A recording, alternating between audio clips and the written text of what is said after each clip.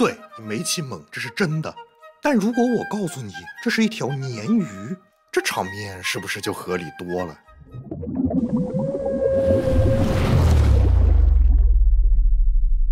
说起鲶鱼，小伙伴们应该都不会觉得陌生，毕竟没见过鲶鱼跑，还没吃过鲶鱼肉嘛。但你真的了解鲶鱼吗？不信我问问你，鲶鱼有几根胡子呀？鲶鱼的嘴里有牙吗？鲶鱼的身上有鳞片否？哎，是不是又发现装叉死角了？哎，今天我们就来讲讲鲶鱼家族，或者说鲶形目那狂放的演化历史。不过先重申一下，演化是个被动的过程，生物极少能主动选择自己的演化方向，而是不足够适应环境的性状，会导致生育后代的可能性降低。反之，较好适应环境的性状，则会提高一些生育后代的数学期望。随着天长日久的积累，宏观上看，就是一群生物的某些性状越来越罕见，直到完全消失。而另一些性状则越来越普遍，直到全部都有。在这过程中，这群生物的总体形态也就随之改变了。不过在讲演化的时候，每次都要用这套措辞，就实在太啰嗦了，所以我还是会用“为了如何如何而演化出什么什么”这种讲法，希望大家理解。言归正传，年行目的故事还要从距今一点二亿年前的白垩纪开始讲起。当此之时，地球正处于一个变革的前夕。陆地之上，显化之物引爆了白垩纪陆地革命，哺乳动物与鸟类正强势崛起。海洋之中，轰轰烈烈的中生代海洋革命正落下帷幕。鱼龙、上龙等老一辈海爬已日薄西山，但有一个区域似乎还隔绝在时代的浪潮之外，那就是淡水。总体而言，在当时淡水江河中处于 C 位的，还是以各种全骨鱼类、腔棘鱼等等为代表的经典中生代鱼类。反观我们现代最熟悉的真骨鱼类，在当时却大多还是不太起眼的小角色，而这其中自然也包括了我们今天的主角——年形目的祖先。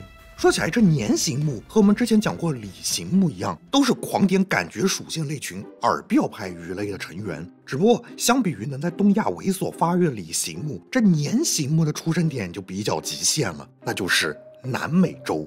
当此之时，南美洲和非洲还没完全分开，由此带来的漫长海岸线，加之地处热带区位条件，使得这里长期水稻纵横。于是也自然成了中生代段位最高的淡水大区。但年形目的鼻祖还是用实际行动表明，鱼不行，别怪路不平。反正纵使在这种高端局中，年形目的老鼻祖也照样迅速找到了自己的基本盘，那就是靠近湖底的脏水。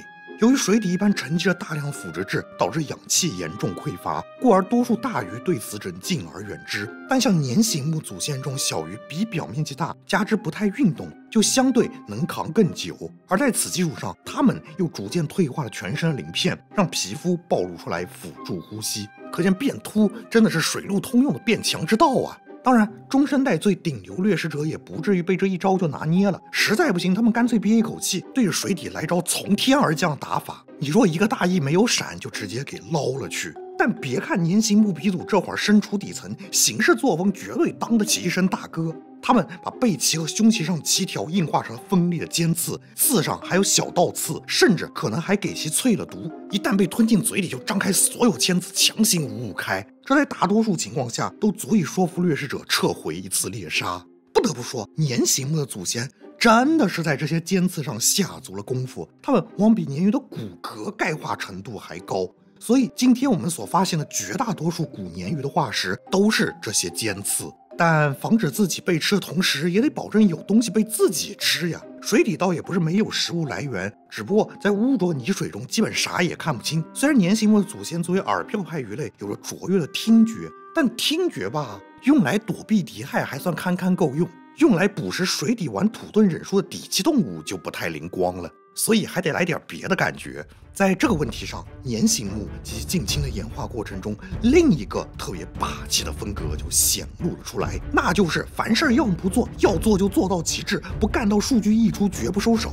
比如年形目有一只近亲就改用了电觉，这本来也没啥，但在一亿多年的演化中，它们先是被动感受猎物肌肉运动产生的生物电，后来又演变成主动放电探测，最后放电越来越猛，直至整条鱼直接变成了个鱼形发电机。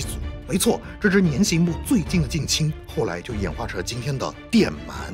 而年形目的直系祖先虽然没搞这种黑科技，但他们却把另一种感觉玩到了离谱的高度，那就是味觉，更确切的说是酸味觉。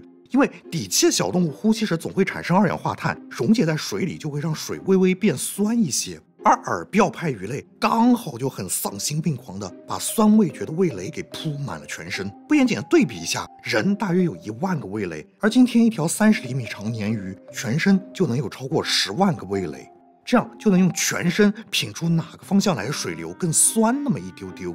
但知道食物在哪个方向，可不代表就能吃进嘴里。想在浑水中一口下去就命中猎物，嘴边的感觉还得堆得更高。因此，年形目祖先嘴边的味蕾就越来越密集，直至百分之百铺满了味蕾还犹嫌不够。于是，嘴边肌肉索性开始向外凸起，来提升比表面积，以装配更多的味蕾。最终，这些肌肉凸起就演化成了鲶鱼的胡子。而这又解锁隐藏技能，那就是它们从此可以贴在水底，用这两根胡子来回摆动，就可以像探地雷似的侦测底泥中埋藏的小动物了。由此，今天我们所熟悉的鲶鱼身体架构基本成型，真正意义上的鲶形目也就此登上了历史舞台。今天，生活在南美洲河流里的二须鲶类还大致保持1.2亿年前早期鲶形目的身体形态。按说吧，这套身体模式已经足以保全年形目苟全性命于中生代了。只要等几千万年后，昨夜见陨石，阎王大点名就行了。但年形目什么鱼啊？这种给他两把菜刀就敢从铜锣湾砍到南天门的狠角色，他字典里就没“狗”这个字。更何况，鲶鱼的猎物们也在升级迭代。哎，既然你能感知我的呼吸，那我发现鲶鱼靠近，就临时憋下气，不就完事儿了？慢慢的，原本像二虚年那样的两根胡子就有点不够使了。但这有啥？两根胡子不够就上四根，四根不够就上六根，甚至于有些鲶鱼直接把胡子改造的跟个钉耙似的。在此基础上，为了极致提升每一根胡子的性能，这些新一代的鲶鱼那真是脸都不要了。它们的上颌骨高度简化，变成专门用来挂胡子的连杆。原本控制面部的肌肉几乎全部转直去驱动胡子。于是乎，这些鲶鱼的一堆胡子，每一根都能近乎三百六十度无死角摆动，感知能力彻底拉满。不过，上颌骨的严重退化也导致大部分鲶鱼不得不缩小了牙齿，甚至于嘴都很难闭紧。但没事儿，那我就把嘴和食道都变得超宽，啊，呜一口吸吞万物。看好了，在绝对的属性面前，一切花里胡哨都毫无意义。由此，年形木在距今八千万年前的白垩纪末就已经初具一个树脂怪的雏形。霸主之下我无敌，霸主之上一换一。于是乎，很快又有两只鲶鱼迅速脱颖而出，它们的后代直到今天都是鲶形目家族的中流砥柱。其中一只留在南美经略各种生态位。可能是为了应对更多变的掠食者，这只鲶鱼中有相当多成员都选择了一种万金油的自保方式，那就是叠甲。但就算是这么传统的套路，在鲶形目这里就完全是另一个画风了。简单来说，这帮鲶鱼直接在身体上全面覆盖了一层骨板，真的就是骨质板甲哦，因此被称为甲鲶类。说起甲鲶，你可能稍微有点陌生，但说起清道夫，你是不是就哦这货呀？仔细想想，清道夫的样子不就是一条装甲鲶鱼吗？你看着一身铁浮屠，再考虑到他们的核还退化了，简直就是甲胄鱼的精神后代。但话也说回来，叠甲的代价还是很大的，毕竟好不容易变秃的皮肤重新被甲片覆盖后，呼吸能力可就大打折扣了。但这根本难不倒他们，外面的皮不够用了，不是还有里面的皮吗？比如每年科就学了一手泥鳅的花之呼吸，也开始用直肠来储存和呼吸空气。而包括清道夫在内的甲年科和矮甲年科，则魔改了自己的胃部，打薄一部分胃壁，然后就能用胃部的毛细血管来吸氧了。这种喝西北风的能力，使得甲年的适应能力大大提升。就算水干了，裹上泥浆进入休眠，也能挺上好几天。网上那些所谓清道夫晒干还能复活之类的传说，大多就是这种情况，并不是因为他们看了广告。当然，不想叠加也行，比如噬新年科就属于轻装上阵，但他们的防御策略就更是达到了物理层面的新高度。简单来说，他们直接待在了安第斯山瀑布的岩壁上。噬心岩的嘴巴乍一看似乎是清道夫的同款吸盘嘴，但嘴边其实长着一圈细密的小刺，搭配其特殊的腹部构造，就可以紧紧扒住滑溜溜岩壁，自如上下。就问在这种地方还有谁能抓得住它们？还有一些不叠甲甲年类，比如毛鼻年科，则选择缩小体型，躲到各种缝隙当中。但你要知道啊，这可是年形目，再常规的套路也会量变引发质变。反正，在亚马孙河里，无论是岩石缝隙还是枯叶之间，但凡是个洞，就没有它们钻不进的。而这自然也包括动物身上的洞。于是就出现年形目中最邪点的存在——吸血年亚科。它们直接钻到大鱼的鱼鳃里面，吃其血，啖其肉。而且考虑到年形目大多都是些眼神不太好、靠肠胃来导航的货色，它们其实也不一定能确定自己钻的洞是不是鱼鳃。所以，如果你去亚马孙河里游泳的话，他们也不介意换换口味。而如果说甲年类是留在南美首家，那年形目的另一大分支就属于是出去征服世界的了，那就是对于我们来说更常见的年形目类群——年亚目。只不过吧，丢号这种事对别的动物来讲是个体力活，可对于鲶鱼来讲却是个技术活。毕竟人家好歹设定上是淡水鱼啊。但年形目的理念就是没有任何问题是面板属性解决不了的。如果有，那就把数值再堆高一些。于是很快，年亚目当中就有好几只开始不断提升自己的耐盐能力。终于在距今约八千五百万年前的白垩纪，盘古超大陆解体产生的各大陆间还隔得不太远的档口，从南美洲漂洋过海抵达了北美洲和非洲，旋即又从非洲扩散到了欧洲西南部。这其中跑得最快的一只，后来可能就演化成了今天分布范围最广的年形目类群，那就是长科。我国南方常吃的黄桑鱼，也叫黄拉丁昂刺鱼什么的，就属于这个类群。当然，也有一些类群一个不小心把耐盐点太高了。就索性转制成了海鱼，比如海鲶和鳗鲶。只不过海洋里嘛，到处都是修炼一年老妖怪，年形目初来乍到也不能太气盛，尤其是其中的鳗鲶，经常会受到大海蛇的迫害。这时候他们又挤出了身上的毒刺。不但如此，曼年还选择抱团取暖来化解危机。当一群鱼受到袭击时，只要一条小鱼死死拖住海蛇，其他个体就能逃出升天。可能也就是靠着类似这样的鲶鱼，年形目终于横渡大海，扩散到了澳大利亚，宣告着地球上所有可能存在淡水鱼的地区，全部纳入到了年形目的疆域之中。而随着距今六千六百万年前白垩纪末大灭绝之后，世界各地的淡水水系为之一空。原本压在食物链最顶端的一把手们纷纷去世，那自然就轮到年形目这种中下层土豪来称王称霸了。一时之间，年形目里各路高启强、刘华强、苏大强、光头强们便群雄并起。他们不仅在本地迅速做大，更是凭着超强的扩散能力，趁别的鱼都没反应过来，就迅速成了欧亚非众多地区的水稻大哥。而且不知道是因为大灭绝后淡水水体不稳定，还是有些鲶鱼已经不满足于单单顺着海岸线去一处一处抢地盘了，他们甚至开始了登陆。本来鲶形目裸露鱼皮就可以直接用来呼吸空气，加之作为圆滚滚的底栖鱼类，到陆地上也能爬两步，一些鲶鱼就逮着机会开始对呼吸空气的能力。虽然年亚目不太像甲年亚目那样能用消化道呼吸，但他们又找到另一条独属于自己的呼吸法，那就是直接用鳃呼吸空气。而这其中的集大成者就是唐诗。简单来说，一般的鱼没法用鳃直接呼吸空气，主要是因为一旦上岸脱离了水体环境，鳃丝就会粘成一团，与空气接触面急剧减小。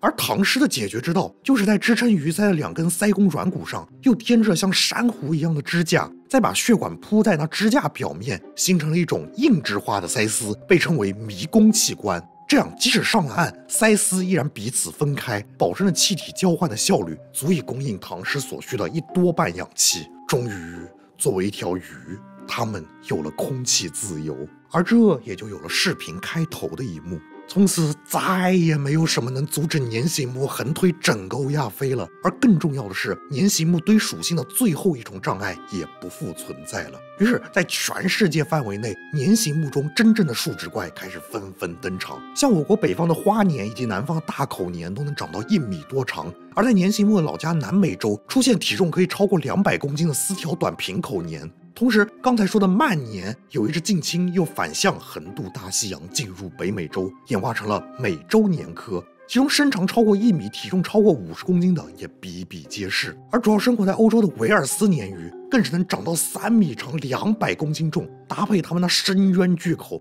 生吞个水鸟啥的，简直轻轻松松，宛如鲁智深倒拔林黛玉，甚至偶尔还有把人拖下水的报道。所以今后还要派鲶鱼精去抓唐僧师徒的话，最好找欧洲进口的。不过，这还不是鲶鱼的体型极限。在距今约两千三百万年前，非洲出现一只专门攀体型的鲶形目鱼类，那就是巨鲶科。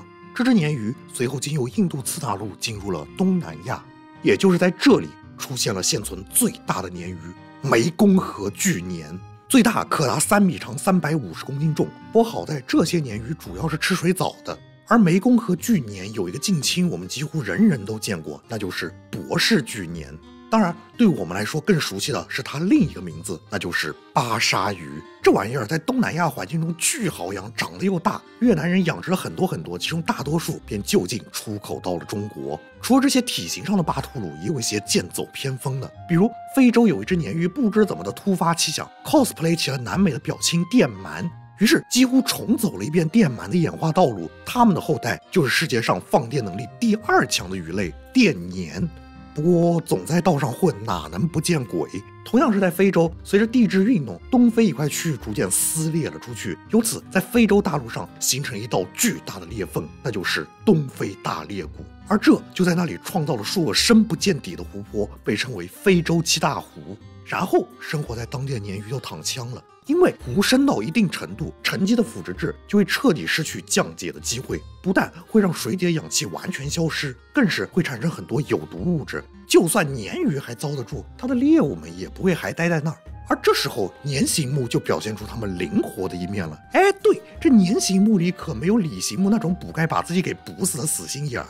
这里有一波鲶鱼就玩了个逆向思维，那就是倒立鲶科。恰如其名，它们干脆倒过身体来，反向趴在水面上，用自己的胡子侦测浮在水面的小动物来吃。而这其中又有一种倒立鲶，密点其须维，发现这湖里还生活着许多非洲雌雕。哎，对，这货也算是我们教科书上熟人了。非洲雌雕有一个习性，就是繁殖期间会把卵含在嘴里保护起来，等卵孵化后还会分泌粘液来喂养小鱼。于是，这些密点奇须维就搞了个骚操作。他们一旦发现雌雕产卵，就会蹭过去偷吃雌雕卵，再趁乱把自己的卵给混入其中。雌雕也分不出来哪些卵是自己的，只能连着鲶鱼卵一起含在嘴里孵化。而小鲶鱼会更早破壳，把剩下的雌雕卵也给吃光。顺便一说，它们还有一种近亲沙尔奇须维，则是特化自己牙齿，使之变成细长的梳状，专门用来撬雌雕的鱼鳞吃。真的是一点都不浪费呀！